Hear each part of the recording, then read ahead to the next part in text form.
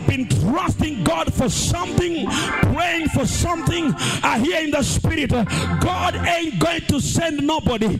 He's gonna send his word. And his word says the comforter.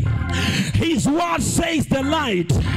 His word says the wonder working God. His word says the defender. His word says the savior.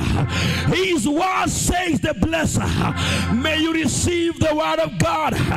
For the word of God is the revelation of God.